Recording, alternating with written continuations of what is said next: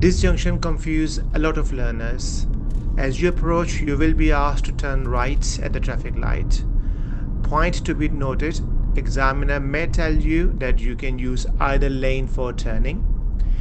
As part of your forward planning, remember once after turning right, you will have to take the first exit at the next roundabout on the left.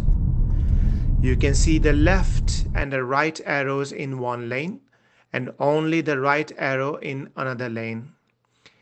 It is advisable to keep to the left lane where there are two arrows to turn right and follow this lane throughout.